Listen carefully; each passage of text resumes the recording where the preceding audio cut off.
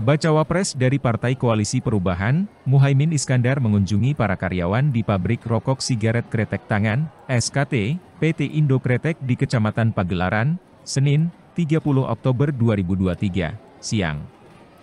Kunjungan pasangan Anies Baswedan ini disambut secara antusias oleh ribuan karyawan di pabrik rokok tersebut. Pada sela-sela kunjungannya, pria yang biasa disapa Cak Imin ini berkomitmen untuk mensejahterakan para karyawan. Cara untuk mensejahterakan para karyawan, dikatakan Imin adalah dengan tidak menaikkan cukai rokok.